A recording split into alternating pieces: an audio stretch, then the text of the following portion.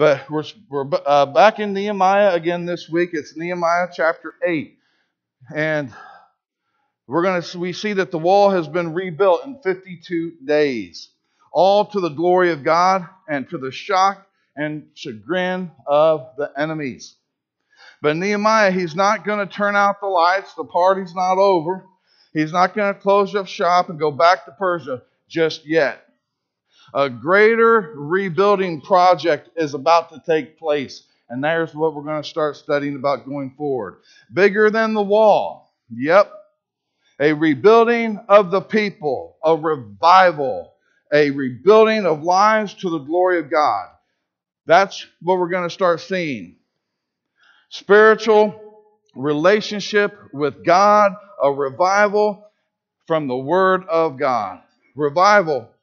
We need to be praying in our land and in our nation, in our hearts and in our churches to bring back revival from the Lord.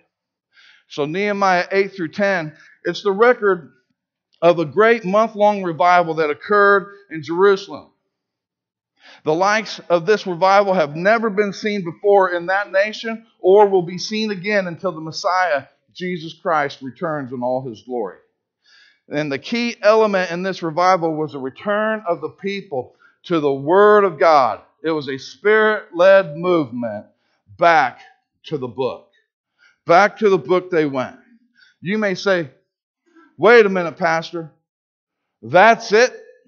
That's the key? I mean, there are thousands of books on revival, and you're telling me what is needed is that. Well, today we're going to see God has a much simpler way to revival than a 300 page commentary on how to get to revival. You know it? All spiritual revivals, everybody. And you can research this, whether it's one's individual life or whether it's in the church. They begin with a Holy Spirit led movement back to the book, back to the Word of God. Do you know that? The ancient yet living words of God. The ancient yet eternal words of God. Don't you love those two words in one sentence? Ancient yet eternal Word of God. The only book is always perfect.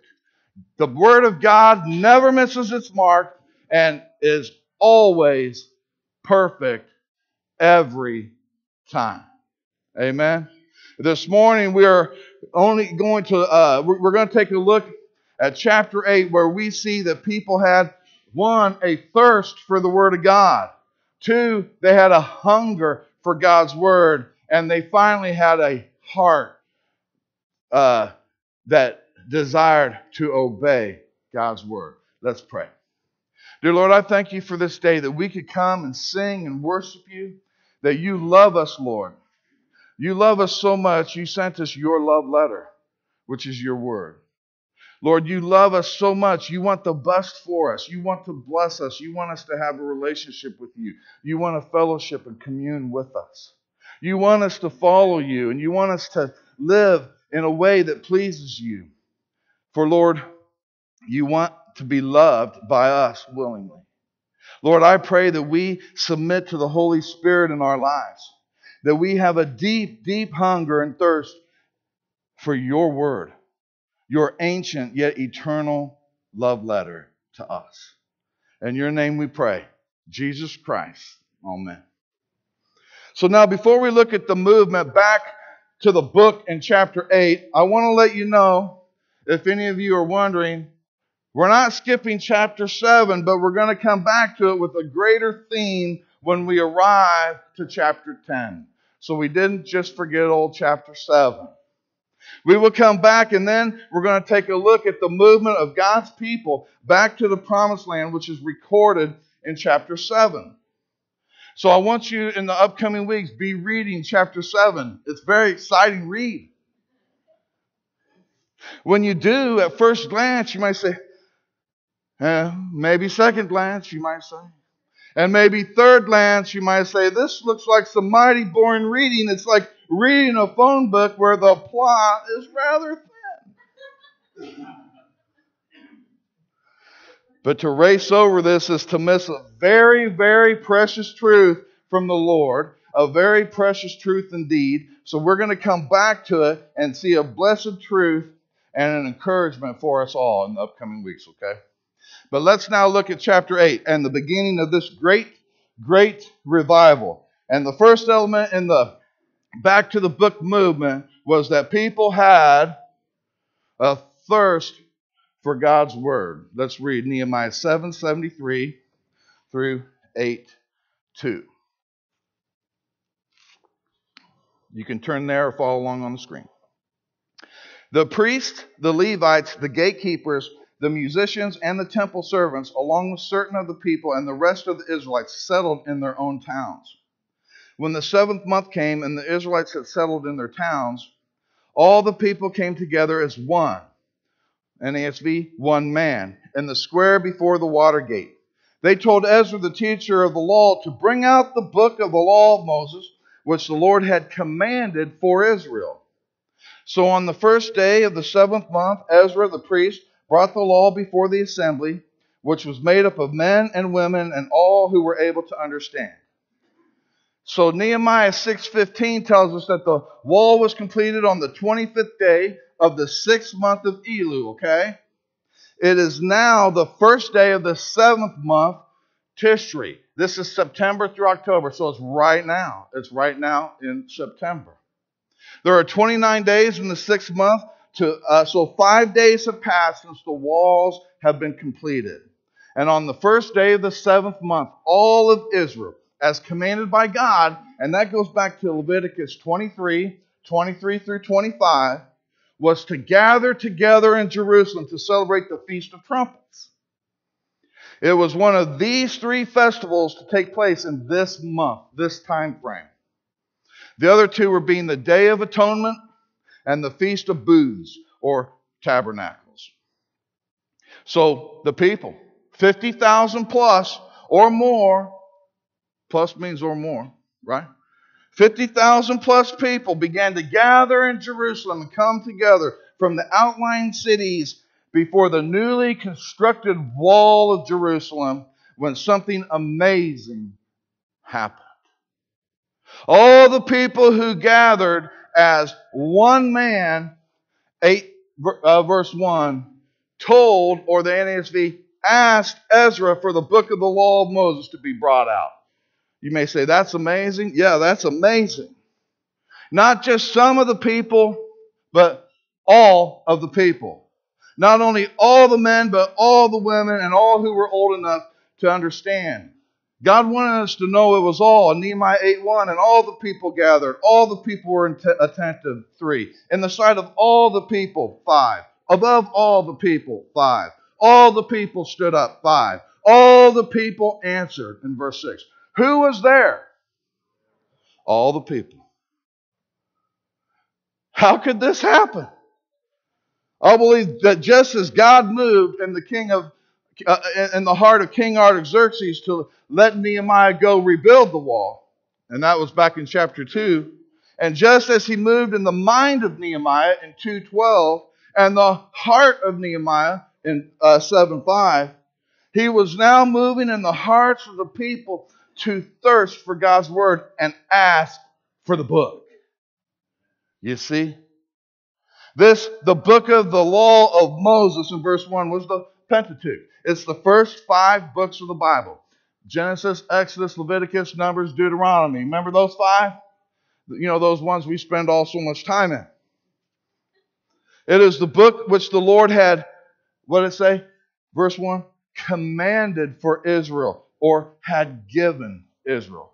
Here, once again, who commanded the books? Who gave it to Israel? Again, the Bible is amazing as we see a truth that man may have written the book with their hand, but the author of the book is God.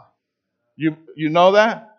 When you have that in your hand, that comes straight from the Lord. He is the author, not only of the first five books of the Bible, but all the 66 books, ending with the last book, Revelation. Listen to 2 Peter 1 20 through 21. Above all, you must understand that no prophecy of Scripture came about by the prophet's own interpretation of things. For prophecy never had its origin in the human will, but prophets, though human, spoke from God as they were carried along by the Holy Spirit. God gave his men through gave his word through men, but mere men are not the authors. God is. So what you hold in your hands is the very breath of God. Praise God. It's the very words of the Lord to you. You want to hear an interesting fact about the book of Nehemiah? Do you? If not, I'm just going to stand here and sweat on my full head of hair. You know, that's a, I remember I tell that joke all the time. Someone says, Man, you, you've changed a lot since high school. I said, Yeah, but I haven't changed my hair. I still part my hair down the middle. Here's an interesting fact about Nehemiah it is a book full of power, courage, strength, trust, faith, grief, temptation, victory, revival, enemies, fortitude, big ideas and big results, victory won, the impossible done, the evil on the run because of a big, big God. That's the book of Nehemiah. But you want to know what's cool about that? There are no recorded miracles in Nehemiah as one thinks of miracles. Nope. Not such as we saw in Joshua and in our study the miracles of Jesus and John recorded in the Gospel of John. No miracle like you see in Exodus or Acts. And I love this because the book of Nehemiah is you. The book of Nehemiah is me. God's word covers everybody in all times. We live in a dispensation where we see no physical miracles with man as God's instruments, as uh, physical miracles today are done by God. Amen? But you know what? Really cool? John the Baptist Remember him? He was described this way by Jesus himself with these words from the Lord. Listen to how Jesus describes John the Baptist in Matthew 11 11. He says, Truly I tell you, among those born of women, there has not risen anyone greater than John the Baptist. Wow, what an amazing statement from the Son of God about a person. Can you imagine if Jesus said that about you? But like you, like Nehemiah, John the Baptist never performed a miracle. Did you know that? Yet that's what Jesus had to say to him. Yet the key to Nehemiah was this he spoke the truth, and that everything in John the Baptist said about Jesus was truth. They served God in truth, okay? Let the Word of God today do the miracle working in your life because it is the Word of God through the Holy Spirit that changes hearts, and that is truly the greatest miracle of all. If you're sitting here today with the changed hearts through the Holy Spirit and His Word on you, do you know that? But you know what? when 50,000 plus people in Nehemiah, as one man, start thinking and start thirsting and asking to hear what God has to say to them in His Word, there is a Nehemiah heart miracle. You with me? 50,000 all at once.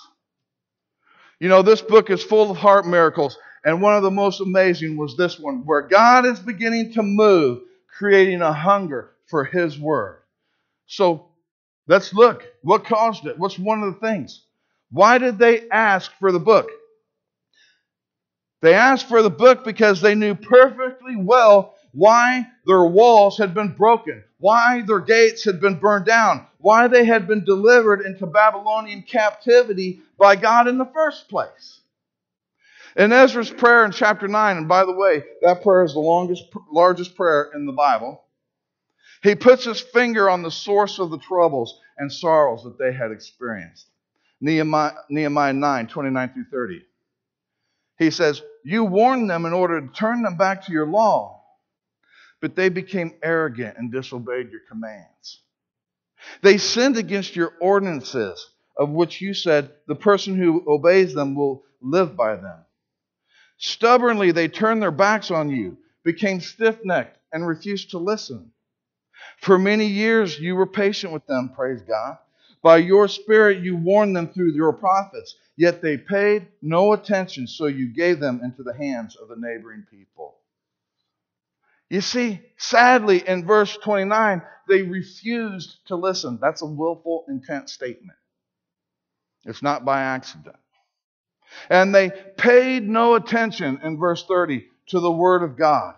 Listen to the words of Jeremiah of the same people, 7 24 through 28. He said, But they did not listen or pay attention. Now here's Jeremiah. Instead, they followed the stubborn inclinations of their evil hearts. They went backward, not forward. From the time your ancestors left Egypt until now, day after day, and again and again, I sent you my servants, the prophets, but they did not listen to me or pay attention. They were stiff necked and did more evil than their ancestors. When you tell them all of this, they will not listen to you.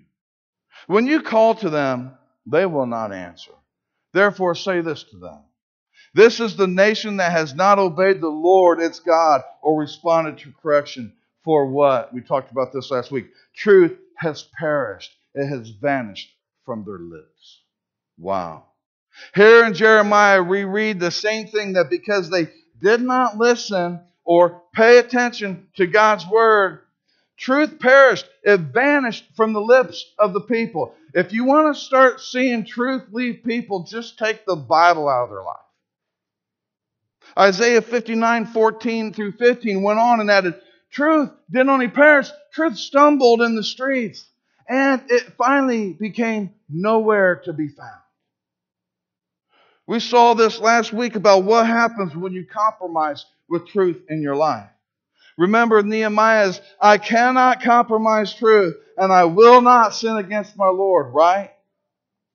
However, these people, having seen the grace of God in sending Ezra and Nehemiah to them, and seeing the miraculous rebuilding of the long destroyed wall, in spite of their enemies, in spite of all their opposition, they did not want to make the same mistake again of not listening and not paying attention to God's word. And they called for the book. You know, when an individual, when a church or a nation will not listen or pay attention to the word of God, it has no reliable truth to live by. It has no absolutes to stand on, and truth will perish in the streets. Do you know that? Bring out the book, they cried. Bring out the book. I want to tell you, I've seen it in my own life in years gone by. If your life is shallow, if your life is, if your life is broken and uneasy, where do you re, uh, start to rebuild your life? To turn things around in your life. Where does revival get its start in your heart? You start with this book, with the truth, with the Word of God Himself. This is the only place in all this world where you can find pure, absolute, unalloyed truth to guide you through this life and keep you on the path of life eternal. Do you believe this? All your words are true. All your righteous laws are eternal. Psalm 119, 160. So bring out the book. Bring out the ancient eternal word. Lord, I want it. I thirst for it. We must be back to saying that. But sadly, let's go back and look at a sadly. Look at Jeremiah 18, 12 through 15. Do you like that word, girls? I just made that up. But they will reply, It's no use. We will continue with our own plans. No, don't do that. Please, don't do that. We will all follow the stubbornness of our evil hearts. Yet my people have forgotten me. They burn incense to worthless idols, which made them stumble in their ways in the ancient paths. They made them walk in byways on roads not built up. Here we see the people described before God's judgment fell on them as those who would not listen to God but stubbornly wanted to continue in their way, to live their lives according to their own plans. That ever been you? Uh, yeah, me. And in living according to their own plans, what happened? They stumbled from the ancient paths and they started walking in bypaths and they weren't on the highway. And in living according to their own plans, God's judgment fell. But you know what? God pled with them. Look at Jeremiah 6 16. Listen to God. This is what the Lord says Stand at the crossroads and look. Ask for the ancient paths. Ask where the good way is and walk in it, and you will find rest for your souls. But you said, We will not walk in it. Do you hear the heart of God? It was God who sent his son and God who gave his word. Of course, he, he's pleading with us. That is the wrong I will not, by the way. I will not compromise. Let's not our I will not be I will not walk in. Right? God pleaded with them to ask for the ancient paths back, to ask where the good way is, and to walk in it. And he t- promised them, You will find rest. You will find rest. You see, the good way, the path to soul rest, is found here in the book of God. We wander from the ancient path. We wander from the path God has given to us in His Word to walk on all the bypaths and not the highway, to live according to our plans and not according to His plan. Do you know how many people are on that highway? Do you know how few take that exit? How many that say, No, I'm going to live according to my plan. No, I'm not going to listen to you. I'll get to you later. How many have been on the highway and, and you're actually traveling? You go, I'll get it. I, I, you know you need gas, but you just push on to the next exit. They say, I got another exit that's going to tell me God's exit. What's going to happen when that happens? Life will be full of unnecessary troubles and trials in your life. It will be full of unnecessary hardships and unnecessary heartaches. It will definitely be full of unnecessary, all, all of this is unnecessary sin and sorrow. We will forfeit blessings that God wants to give to us, and we will invite the chastening hand of God. I don't know about you, but that's a bad invite. And the answer is to go back, back to the ancient path, back to the book of the Lord if we are ever to go forward. You see, God's way is the only way, right? But hey, notice something here. Notice in Nehemiah that they did not ask for some new manifesto, did they? They did not ask for some new form of thinking, some new teaching from Ezra, some new revelation, or some new insight. They just said, bring out the book. There's truth there. You can find all these hidden nuggets in God's Word if you just meditate on it. We don't need today any new revelation from God. We don't need any new insight to walk right. Just haul out the ancient eternal words of God dust it off and pour into it. And you're going to say, wow, this is still just as relevant, today. You know, hey, when you buy a car, it comes with a manual. The designer and the maker of the car knows the car better than you do. And so the manual comes with it on its care and for its maintenance. A manual explaining how things work and their intended purpose. So God is your creator and maker, and the Bible is his book of instructions for us. When all else fails, read the manual.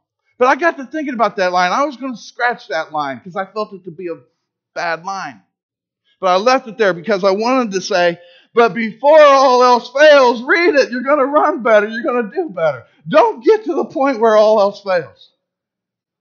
But if you're at all else fails, you have a place to go. Right? Nehemiah 9:33 said Israel had acted wrongly or wickedly in the past. But I tell you, they never acted more wisely than on this day when they asked for God's word.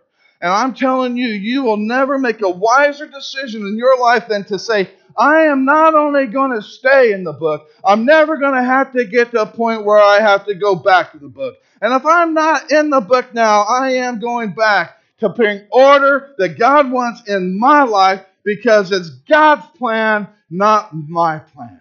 And that's what's best for me. Right on? So we see a thirst for God's word. The second element in this book, this movement back to the book, is a hunger to know God's word. Let's look at Nehemiah 8 3. He read it aloud from daybreak till noon as he faced the square before the water gate in the presence of the men, women, and others who could understand. And all the people listened attentively to the book of the law. Ezra, the teacher of the law, stood on a high wooden platform built for the occasion. And these 13 men started teaching the law. A wooden platform. Here you go, the first pulpit of sorts. It was big enough. It was a big old uh, platform. It carried these 13 men. What's it say? That Ezra read the book from when? From daybreak till noon, about five hours. And all the people listened attentively. Hmm. What's this say? Oh. Oops. I guess I'm wrong. Tell me there's no miracles in Nehemiah.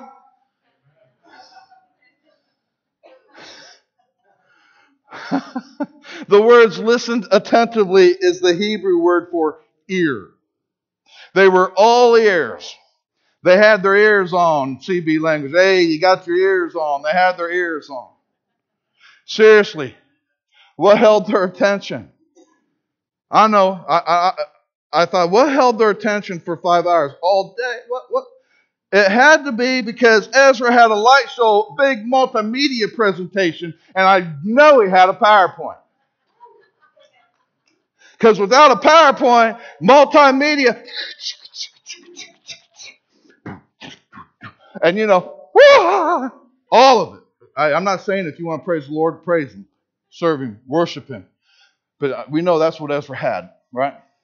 That's what people are like. Yeah. Perhaps the 13 men on the platform were doing a drama. Maybe they were doing a skit. Perhaps they were doing interpretive dance. Nope. According to Malachi 2 6 through 9, listen to this. The Levite, as the teacher of the law, he was to do something. He was to give true instruction, to preserve knowledge, that is, the knowledge of God, and his truth as the messenger of the Lord Almighty. He was to preach and teach God's truth, not his opinions, and the people were to seek instruction. So each person had a role. The current trend in many pulpits today is to minimize teaching and maximize feeling to just share instead of proclaim.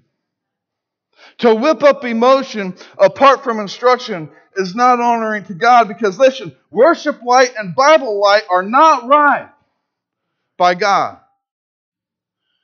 I want to worship strong and be Bible strong.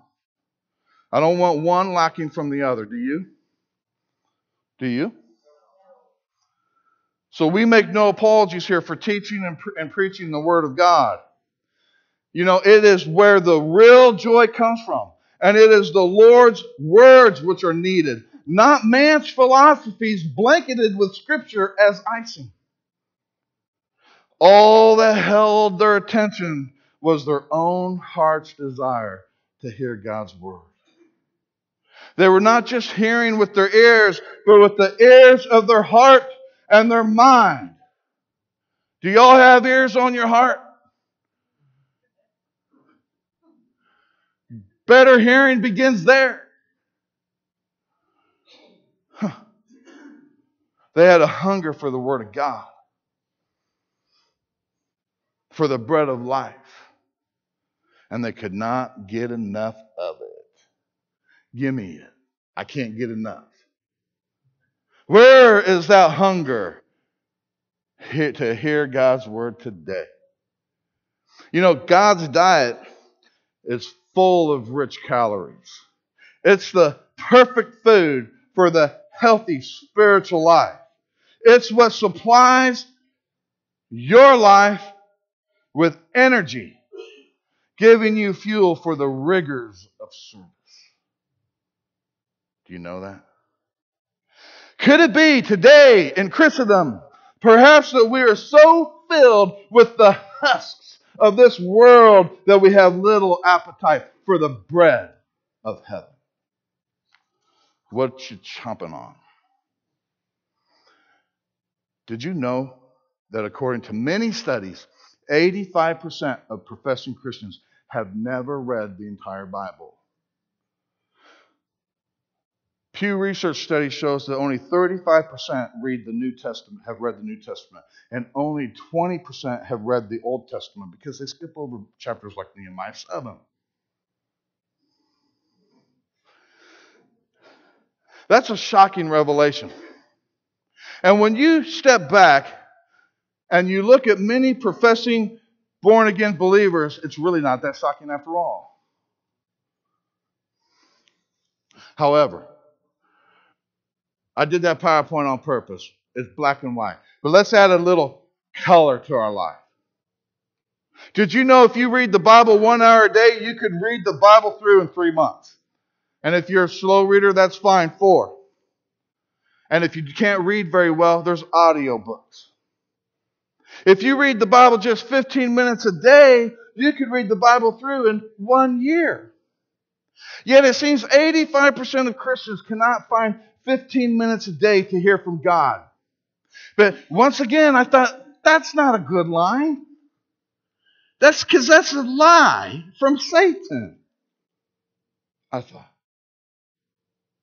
Is that even an accurate statement? Or maybe more accurately, it's because they don't have a heart to give God 15 minutes of what they really have in the day. I think that's probably more accurate. And the next question when believers attend church, is there a kind of attentive attitude that we see here in Nehemiah? Pastors and teachers can write books on what they see and preach when they teach God's Word. you know, I'm not even going to get to end it. I have it right here. But I don't believe the Holy Spirit's laying that on me. I don't need to sit here and punk on you on what I see out there. I just want to give a good old gut check. Everybody ever been to football? You women haven't, but let me tell you, sometimes you just need a gut check when you get the wind. you know, we just need a gut check. You know, the word was not just read to them, it was also explained to them.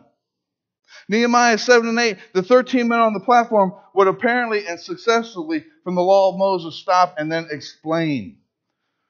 Verse 7 says, making it clear and giving the meaning so that the people could understand what was being read. That's very important. They read and studied, what did it say, verse 18? From the first day to the last day. On the 24th day in chapter 9, 1 and 3, they read from the book a quarter of the day. Again, was the pattern explaining and instructing. Can you imagine at this point what Satan and his and the enemies was thinking after they tried so much to destroy these people? And now this? See, you see, this was more than just passive hearing. They were serious about learning the Word of God. This was an extensive teaching program. It was intensive. Pretty cool. Once every seven years, the law was broken out. Man, I'm done wearing suits up here. We're either going to get some AC up here or something's going to change. Or, you know. listen, Deuteronomy 31, 11, 12. Listen to this. When all Israel comes to appear before the Lord your God in the place which he chooses, you shall read this law before all Israel in their hearing. Gather the people together, men and women and little ones. Hey, wow, little ones. And the stranger who is within your gates, that they may hear, that they may learn to fear the Lord your God and carefully observe all the words of the law. There's the equation. God wants his people and us today to hear, learn, and obey. It was same then, it's the same today. Hear, learn, obey the word. If you're not obeying it, you didn't hear it, or you didn't learn anything. And if you did not hear it and you do not learn, then you're not going to have you're going to have a hard time obeying it. It all comes together. That word learn is translated elsewhere to be an expert in, skilled in, trained in. God wants his people to be people of the book, skilled, even experts in the book. And I'm not talking about knowing all the Sunday school stories or childhood stories, but a deep study of the learning of God's Word. You can have all the degrees in the world. You really can. You can have all the degrees in the world that help you make a living. But if you are not raised up learning, studying, and are ignorant of God's word, you will be poverty stricken when it comes to living. Living in a way that ple- that's pleasing to God, that is. Living in a way that brings rest to your soul that God wants to give to you, that is. Living that has purpose and makes a difference in time today and in eternity. Isn't that amazing? That's what God wants to do. In our Wednesday night previous series on the fruit of the Holy Spirit, my dad gave this quote and I wrote it down so I could use it because it's so important. The Word of God is the language in which the Holy Spirit speaks to you. You know, what kind of day do we live in? We live in a day of scientific wonders. We can put men on the moon, or we can stage things to look like it. I thought I was teasing. I'm kidding. I'm not a conspiracy theorist. Too much. We can put men on the moon. We can design gadgets that do astonishing things. We can build structures today that make ancient wonders look like Lego sets. But we can't hold our marriages together. We build amazing computers, but we don't know how to build character. We know how to harness light and airways, but we don't know how to control ourselves and harness our sin natures and yield to the Holy Spirit. That's what it's all about. We have no power in ourselves. Listen to 1 John 2:17. The world and its desires pass away, but whoever does the will of God lives forever. This is followed up by listen to the words of Jesus in Matthew 5:18. For truly I tell you, until heaven and earth disappear, not the smallest letter, nor the least stroke of a pen will by any means disappear from the law until everything is accomplished. We are so knowledgeable in a world that is passing away, 1 John 2, and often we are too ignorant of the word that will never pass away. Let's reverse that in our lives in the church today. You know, listen to me. I don't want to offend you. I'm not trying to make a blanketed statement on all who attend ECGBC or our brothers and sisters elsewhere in other churches today. But I believe this old adage if the shoe fits, wear it. And many a believer today, the shoe fits. It, get rid of it if it Let's be people of the book, the ancient and eternal Word of God. You see, I want you to know something. My burden isn't to admonish you. It isn't filled with anger flowing from a letter of the law, legalistic attitude. That's from Satan. My burden is from a love for the Lord, a hatred of Satan and his destructive influence over those I love. You see, the true burden is I know nothing will benefit you more than flat out loving the Word of God and the benefits and results flowing from God Himself for that type of Bible love in your life. And I want that for you. And I want that for me. And God pleaded for it before I'm even pleading for it now. You see, I know that the Word's going to make you wise. I know it's going to restore your soul. I know it's going to bring rejoicing to your heart. It's going to keep you pure and it's going to protect your life. We read that this morning in Psalm 19, 7 through 11. When I was a boy at Bethesda, Kayla, that's your cue. When I was a boy at Bethesda, In elementary school, we learned this song. I can sing it to this day because it was, I sang it, and we sang it all the time. And it's in my heart. It impacted me later in adulthood. Listen to the words the way I learned it as a boy in Psalm 19, 7 through 11. The law of the Lord is perfect, converting the soul. The testimony of the Lord is sure, making wise the simple. The statutes of the Lord are right, rejoicing the heart. The commandment of the Lord is pure, enlightening the eyes. The fear of the Lord is clean, enduring forever.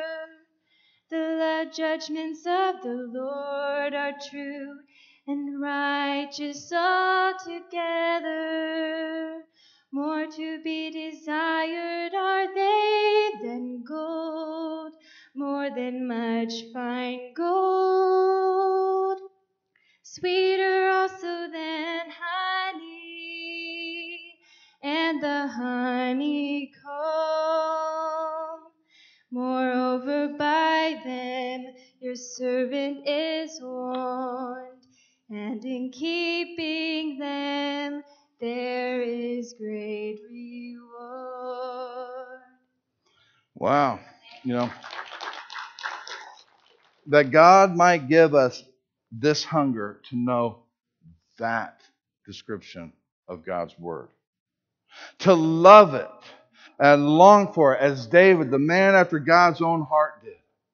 How our lives would change and the church would be transformed to sing His Word in our hearts and minds, to allow God's Word to flow out of us that we love it so much it just comes out in song. It's kind of like the shower experience when you all become Grammy nominees. Everyone sings good in the shower. When you're by yourself, sing. Let the, let the Word of God sing from your life. He says it's more precious than gold. Not just gold, but pure gold. It is sweeter than honey. Not just normal honey, but the honey that comes straight from the comb. The Lord says, I warn you. My word is perfect, he said. My word is right. It's radiant. It's pure. It's eternal. It's firm. It's righteous. It is trustworthy. It's wise. It's simple and precious. So I, the Lord, warn you keeping them comes a great reward.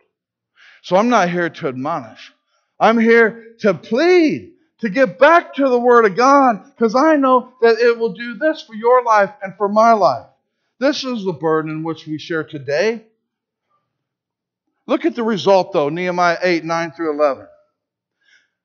Then Nehemiah the governor, Ezra the priest and the teacher of the law, and the Levites who were instructing the people said to them, this day is holy to the Lord your God. Do not mourn or weep.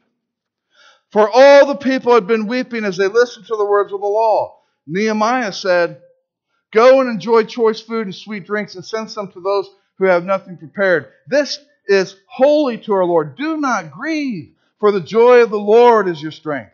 The Levites calmed all the people, saying, Be still, for this day is holy. Do not grieve. They began to weep, and they heard the words of the law. Why? because the word brought conviction of sin. They saw how good God had been to them, and yet how wickedly they had acted in return, and how miserably they had suffered for it. And justly so, because of it. Oh, the time wasted, the opportunities lost, the blessings forfeited because of their stubbornness and their disobedience. Okay, okay, we get it. And so they wept and they grieved, and rightfully so. Real repentance should bring about grief. But Nehemiah and Ezra said this to them Stop grieving, stop weeping, eat, rejoice, share, for the joy of the Lord is your strength. Verse 10. Amen. Uh, are you all attentive? The joy of the Lord is your strength. You see, under the words convicting power in our lives, they were driven to repentance. But that repentance was not to degenerate into a self absorbed remorse, but rather issue in a great joy of the Lord's forgiveness and His mercy and His grace. They were to rejoice in the understanding they now had of the Word of God so they could move forward in obedience to the Word of God. Rather than to sob and weep over how they disobeyed and to sob and weep how they failed in the past and what they've lost. You see, God wanted them to do something. He wanted them to be more aware of His strength than their weaknesses, to be more filled with the joy that He brings than linger on their failures and their sins. Do you see that? Some believers never get over their sins and never get over their failures. There is definitely, everybody, a time for weeping. There is definitely a time for grieving over sin. But after repentance, after forgiveness, after reconciliation with the Lord take, takes place in your life, then apply the ancient words of God and move on with Him in joy. Live for Him in joy.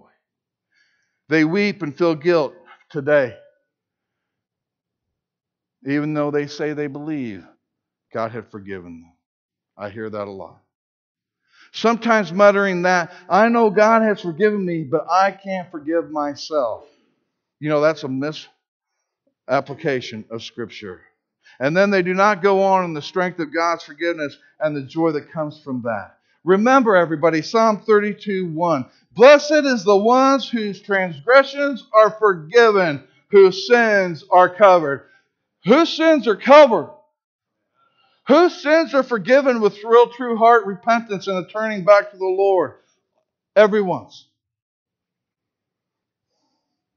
How happy. Remember when the prodigal son, when he came to his senses and realized his sin and repentance, he headed back home. What did the father do? What did he find? He found a father waiting and longing for him to come home. There was a celebration, there was not condemnation. Here in Nehemiah 8 9, it says, This day is sacred, it is holy. You see, everybody, it is a holy day when anyone goes back to God's word to humbly let it speak to them, to seek to understand it, and let it do and let the word do its work of conviction. A conviction that leads to repentance in your life, and then to forgiveness, and then correction. And such holiness or separation unto God leads to true, abundant living and joyfulness. Do you know this? So we see a thirst for God's word, a hunger for God's word, and we're going to close shortly. It's not too much longer. A third, a heart to obey God's word. Nehemiah 8:14. They found written in the law, which the Lord had commanded through Moses, that the Israelites were to live in temporary shelters during the festival of the seventh month. In their study of God's word, they what? Found written in the law how the Lord commanded them to live in booths for seven days during the seventh month, beginning on the 15th day. They were obviously reading and studying Leviticus 23 34, where Israel was commanded uh, there to live in booths or huts made of foliage as a memorial of God's gracious provision for them when He brought them up out of Egypt and through the wilderness. Leviticus 23 43 says, So your descendants, why did he want them to do this? Well, know that I had the Israelites live in temporary shelters when I brought them out of Egypt. I am the Lord your God. These were ordinances or symbolic reminders of God's grace and work in delivering them in previous generations. We are told in verse 17, however, that this had not been practiced in Israel since the days of Joshua 1,000 years ago. Look at Nehemiah 8:17. The whole company that had returned from ex- exile built temporary shelters and lived in them. From the days of Joshua, son of Nun, until that day, follow me, from the days of Joshua, son of Nun, until that day, the Israelites had not celebrated it like this and their joy was very great. From a thousand years ago? Does that contradict Ezra 3 4? Listen to Ezra 3 4. Then, in accordance with what is written, they celebrated the festival of tabernacles or booths with the required number of burnt offerings prescribed on that day. Here we read they celebrated the Feast of Booths just 13 years earlier at the rededication of the temple. And Nehemiah says it's been a thousand years. Also, listen to this. Second Chronicles, Second Chronicles 8, Second Chronicles 8:13 says that Solomon celebrated this feast at the dedication of the original temple. So how could it be said it was not celebrated since Joshua's day a thousand years earlier up to this day? Hmm. Some say it means that it had never been celebrated with joy on this day. Is that true? Second Chronicles 7 9 says the people, when they celebrated it, were rejoicing with happiness of heart. So that can't be it. Some say it means that it was observed, but not by the whole assembly. Nehemiah, like here in Nehemiah 8 17. Or the entire assembly as on this day. So maybe that's the difference. But that's not true either because Ezra 3 1 says they all gathered together as one man. 13 years earlier. To celebrate it just like here in Nehemiah 8 1, all gathered as one man. So what's the answer? Look at verse 17. Like this. Two little words. Hadn't been celebrated like this. The Bible gives some very keen sight into the Lord here. What God commands, God expects right down to every very detail. While the Feast of Tabernacle was kept by Solomon and Ezra, it was not kept exactly as God had commanded it to be done. Solomon says nothing of building booths or living in them. Ezra said they kept the prescribed daily sacrifices outlined in Numbers 29, but no mention of living in the huts. That of going through the symbolism exactly the way the Lord had commanded them to go through it. You see, the camping out element may have lapsed here. But looking carefully at what God said to do, they did exactly what God commanded them here, and they made huts and they lived in them for seven days here in this revival. And that is what has not been done since the day it was given. Does God care that His word is followed exactly the way He commands it to be followed? In Nehemiah 8:15 it says, and that they should announce and proclaim in all their cities and in Jerusalem, saying, Go out into the mountain and bring out olive branches, branches of oil trees, myrtle uh, branches, palm branches, and branches of leafy trees to make booths as it is written. Right down to what material, material was acceptable for the booth, as it is written. Catch this scene in Nehemiah 8:16. So the people went out and brought back branches and built themselves temporary shelters on their own roofs, in their courtyards, in the courts of the house of God, and in the square by the water gate, and the one by the gate of Ephraim. Here they are. Here are people with perfectly good homes to live in, moving out and living in these huts, not made of uh, tent material, but branches and palms. Some right on their rooftops for seven days. Inconvenient? Yes. But was it obedient? They may have argued that David didn't do it or Solomon didn't do it, but should what others do or do not do make a difference to us? So when they read what was written, they went out and they did it right away. Isn't that the attitude God loves in the heart of a believer? If it is written, I am doing it. If it is commanded by my Lord, I am doing it. If I did not know that before now, but I see it written, I am doing it. If thousands of years have not done uh, have not done it for a thousand years, that makes no difference. If I see it written, I am doing it. Compromise truth, I cannot. Sin, I will not. The word, I will do. That's the heart God wants from us. It is not for us to decide what we will do or not do, but simply to discover for ourselves through God's word what God wants and commands and just do it no matter how trivial it seems to us or how difficult. Just do it. You see, God coined that phrase way before Nike ever did. Satan, he just tries to pervert it. You see, it is one thing to hear and study the word, and quite another to do it. Right? Let's be doers of the word, like it says in James 1:22, where it says, Do not merely listen to the words and so deceive yourselves. Do what it says. Just do it. So, Nehemiah 8:17, what happened? There was great rejoicing. You know, there is a joy that comes when you put the Lord and His Word first in your life. A deep, deep joy and a peace that He gives to those who obey Him, who fellowship with Him, who submit to Him, who follow His Word, who loves what He says. Psalm 28 1 2 says, Blessed are all who fear the Lord, who walk in obedience to Him. You will eat the fruit of your labor. Blessings and prosperity will be yours. How blessed is everyone who fears the Lord, who walks in his ways. You will be happy, and you will make an impact as a wall builder for God. What is it you know from God's word in your life that you should do? What is it you should that you know from God's word in your life you're not doing? I encourage you, hesitate no longer. If it is written, just do it and wait for the joy. Do you know if you're not following God's word, I don't care what you say, you don't have joy.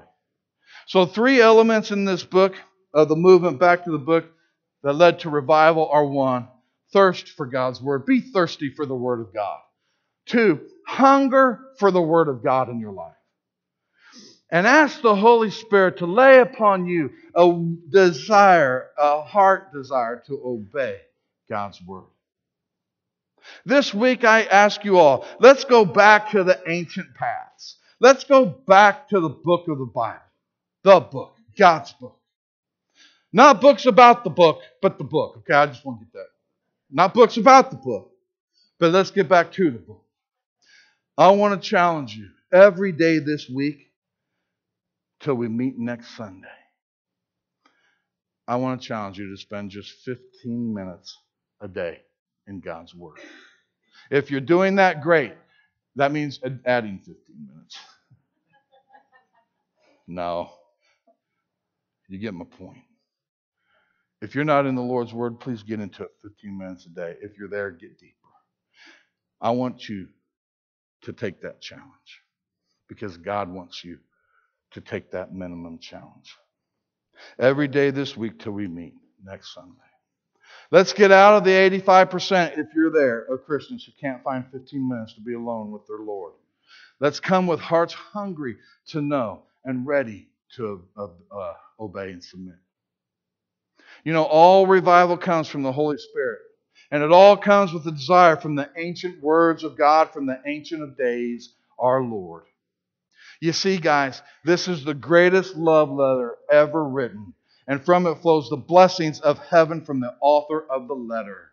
Dine in, dive in, consume all you can, and eat, and keep coming back for more to God's Word.